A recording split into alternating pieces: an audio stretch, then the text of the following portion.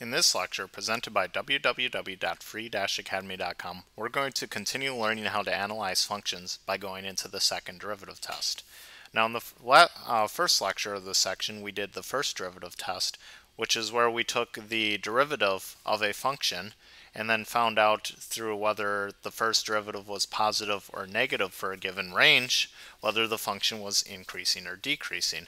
And what I've drawn out here is the absolute value function, which is something you should be pretty familiar with. If you take the first derivative of it, you find that it's negative 1 for x less than 0, and it's positive 1 for x greater than 0. So you're switching from a decreasing to an increasing, so you know that there has to be a minimum at x equals 0. And that x equals 0 also has to be a critical point. Alright, that's all review so far. But is there something more about this that you can tell? Can you tell anything from finding the second derivatives? Well, actually, there is something that you can tell from them. This particular function doesn't tell us much of anything. The second derivatives are zero. So the rate of change of the rate of change is zero. So the rate of change is not changing. And basically what that means is we have straight lines for the function. If the second derivative is equal to zero, then you have a straight line. This is something you already know. So let's take off this absolute value function and let's bring in our friendly parabola. We can find the first derivative of our parabola. So that's f prime of x is equal to 2x. We know that we have a critical point at x equals 0. And from setting up our table,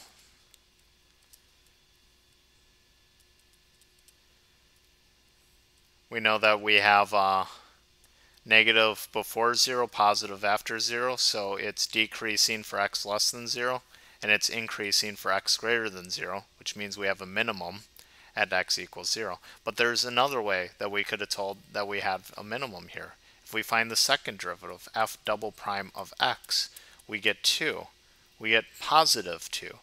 So that means the rate of change of our derivative is increasing, so we get a curved line out of this.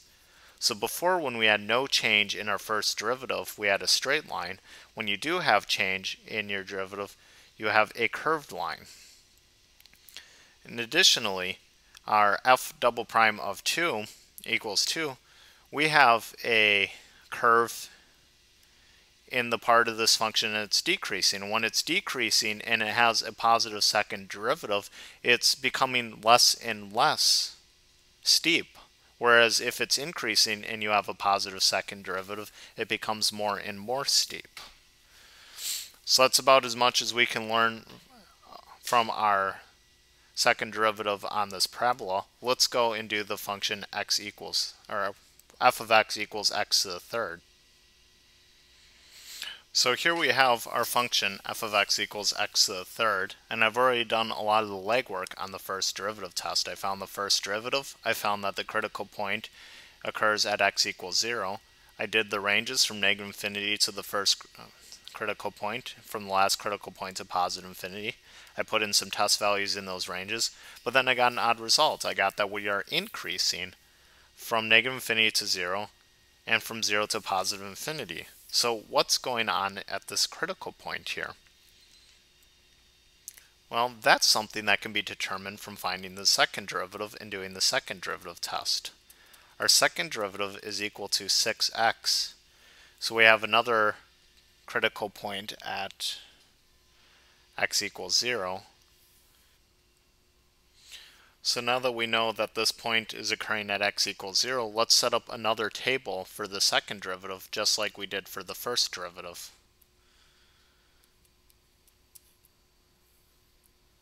And this is our second derivative test.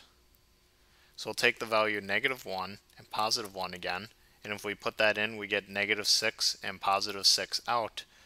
So we have a negative um, from negative infinity to 0 and a positive from 0 to positive infinity, what does this tell you? Well, the negative tells you that the function is what's called concave down. And the positive means that the function is concave up. But what do these terms mean? Well, if they're concave, that means there's a curvature. And if it's concave down, it means that it's curving downwards. And if it's concave up, it's curving upwards. And let's take a look at our graph here. This is exactly what we observe. From negative infinity to zero, this function is curving into a downward direction. And from zero to positive infinity, it's curving in an upward direction. One thing that um, a lot of teachers like to say that if a function is concave up, that means it holds water. And if the function were concave down, that means it would spill water. So it's kind of like a cup. It's curving. It's like a cup. And when we have a situation where we switch from concave up to concave down or from concave up or from concave down to concave up, that's what we have called an inflection point.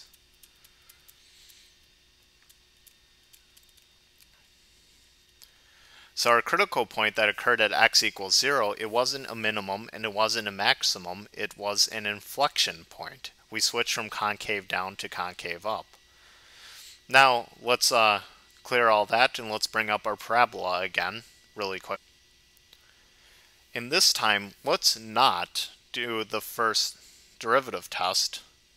Excuse me, I miswrote this here. f of x is equal to 2x, or x squared. Let's not do the first derivative test. Let's go straight to the second derivative test. f double prime of x is equal to 2. So we have positive 2 in the second derivative. That means our function is concave up from negative infinity to positive infinity. And then we know from the first derivative that we have a critical point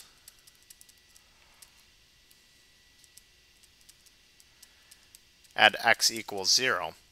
So without taking any intervals and without testing anything, if we know that we are concave up on a particular interval, and we know that we have one critical point inside that interval, that we must have a minimum. And I would encourage you to try to construct a function where that's not true. Try to take any graph and show that it's not true because you won't be able to.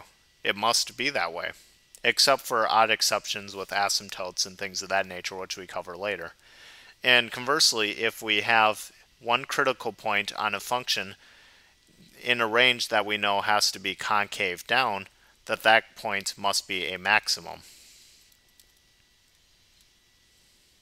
And if we have a critical point from where we go from concave down to concave up, that must be an inflection point.